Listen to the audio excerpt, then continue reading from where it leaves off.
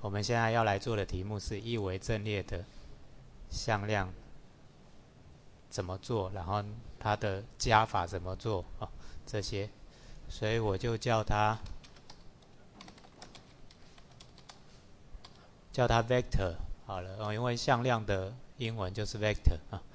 但是我们是暂时呢写的是函数版啊，不是物件导向版啊。OK。看得到吼，那这个函数版，那我们就要开始来写吧哈。那为了少打几个字哦，我还是抠过来好了啊。那通常这个我们都会用抠的了哈。各位如果真的要记也可以，但是很累哈，所以能够少打就少打啊。这个 through exception 这在目前用不到，所以可以不用理它啊。那一样，我们先宣告两个一维阵列哈。但是啊，我们稍微修改一下，为什么呢？因为我们刚刚都用整数，那其实真正的阵列不一定是整，就是以以那个向量而言，它不一定是整数，通常是实数，所以我们还是用 double 比较好啊。那 double，OK，那我说，哎，A。然后，哦，用 S 好了，好，double S，然后就等于这里一二三，好，但是这里呢，你可能会碰到几个问题哦。第一个，因为它是实数啊，所以其实其实如果我用整数的话，它可能形态会不相容，所以你加个点零，啊，应该就会相容啊。所以这是一个解决不相容的办法。另外，有时候用用整数或许也不会出现太大问题哦。但是我习惯还是在实数的情况之下，我还是把它加个点零啊。那这边呢，也四五六好了啊。好，这时候我们做两个的加法，对不对？那以一般的写法，我们就就会。直接写在，就是说最简单的写法是直接写在里面。但是我们现在既然会写函数了，我们就最好是把整个东西都函数化哈。那之后还要做物件化。那我今天先做函数化，所以我们先做一个 print，对不对？一样做 print，但是这时候比较简单，比刚刚更简单一点点。为什么？因为刚刚是矩阵是二维的，现在只是一维的，所以其实应该非常简单才对。那这里我就不要用 x 了，我就用 a 啊。那避免各位搞混啊。那当我这样做的时候，我做很简单，等于 i 等于零，i 小于 s 的长度。哦，错了，我现在应该是 a 啊，e n g t h 啊，i 加加，然后呢？我就呼叫 print，print，然后 ai，但是最后最好用个空白隔开，不然你会发现一点零、二点零、三点零全部连在一起，对不对？啊，那所以我就呼叫这个，那好像有点错误啊，你看这里有错，我们看一下它的讯息。哦，因为我没有回传值哦，那既然没有回传值，就加个 void 吧，哈。好，这样就没错了啊。那以这个，它有个惊叹号，代表其实有一个问题啊。但是他说 the local variable y is never read，那这是正常的，因为我们程式还没写完嘛，从来没用过的变数确实会有警告。那接下来我就 print 一下。啊，这个比刚刚那个简单了哦，因为我发现我刚刚一下跳到矩阵太难，我们稍微补一下这部分啊。那这样子就印出了两个阵列，好，哎，这里最后我觉得我应该再补一个换行，哦，否则的话呢，两个会连在一起。啊，那这样子就好，那就一二三四五六，好，OK，那这是印出来而已。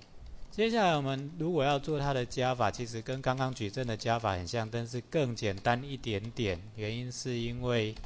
我们只有一尾啊，所以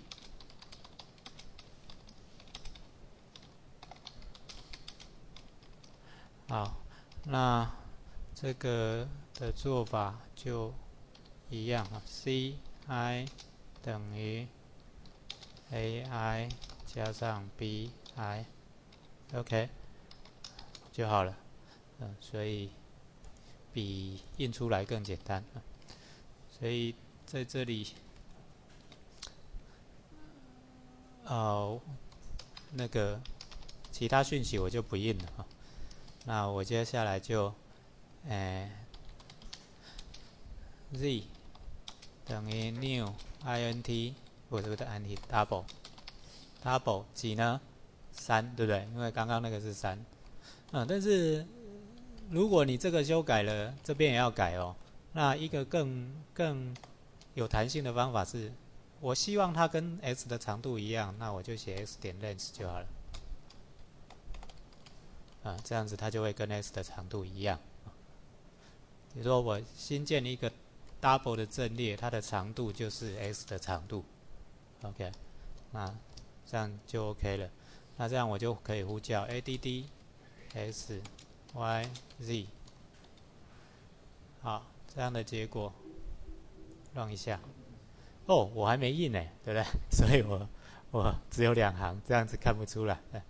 但是其实你可以用观察了哈。你如果诶在这里设中断点，那其实你可以在 Eclipse 里面像 Visual Studio 一样，就直接观察它。啊，但是但是 Eclipse 的观察。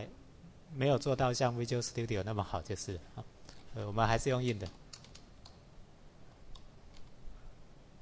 好，这个先拿掉。OK，好，这样子印出来。好，一二三四五六，那五七九，OK，这是对的啊。那接下来呢，我们刚刚讲的内积，内积该怎么做呢？其实内积就是向量的相乘哦，所以，所以我们可以叫 multiply，但是一般来讲我们会用点符号代表，所以就用 dot 啊 dot。那但是它两个向量内积出来是一个数字哦，所以不是一个阵列了。那我干脆就用传回值来传回它。啊，这样子反正就只有一个数字而已嘛，用传位值传就好了。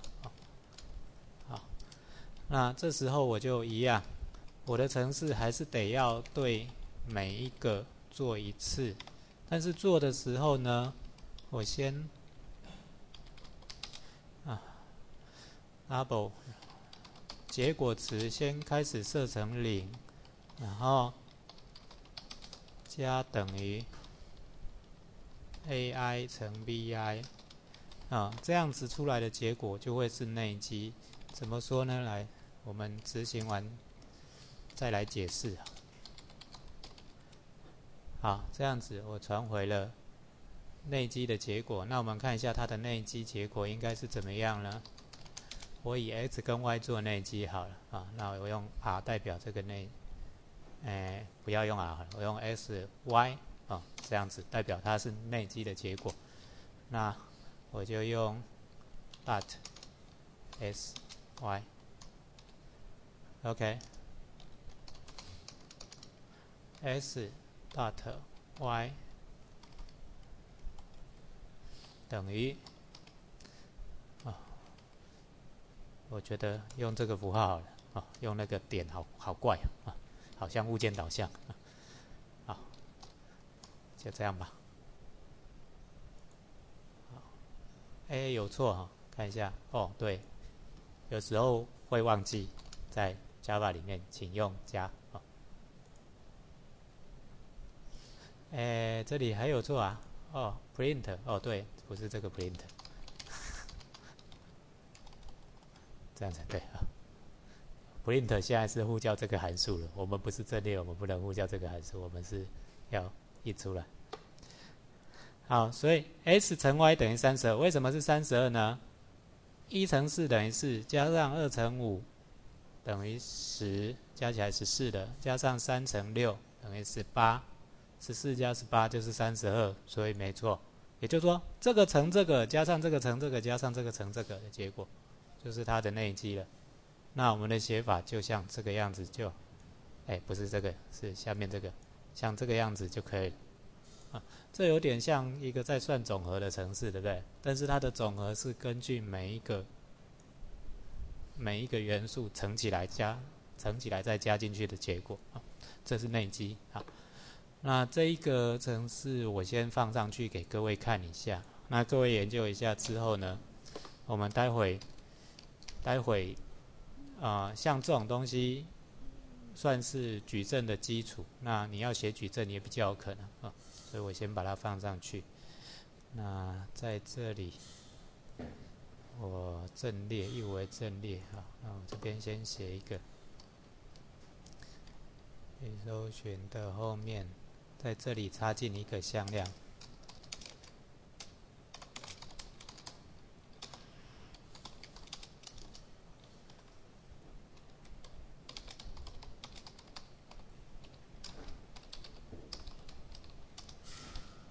好，那这是刚刚的程式啊，